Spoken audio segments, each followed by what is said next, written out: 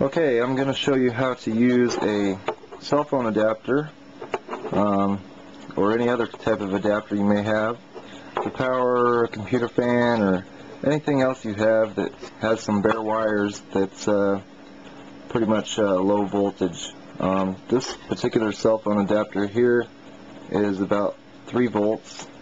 Uh, it's for a Nokia.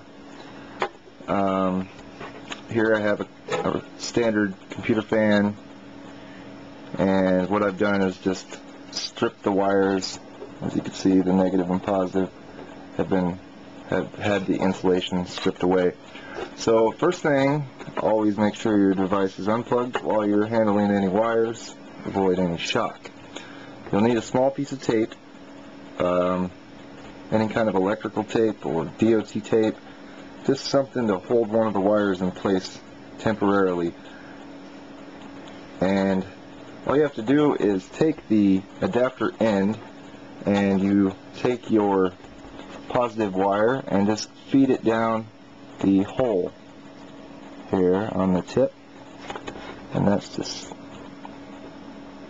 a little rough there. So once you get that secure and in place it'll probably stay by itself.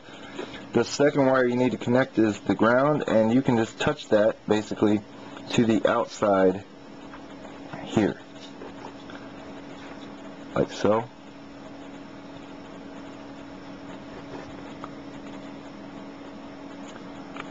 Secure that with the tape.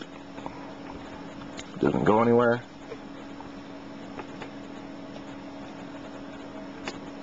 Inspect your work, make sure everything is okay. Always be careful with electricity. So now I have the power in the hole there and the negative touching the side. I'm going to plug it in.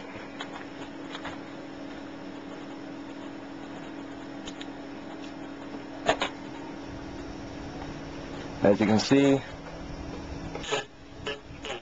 fan is running and just fine. Put a nice cool breeze through there.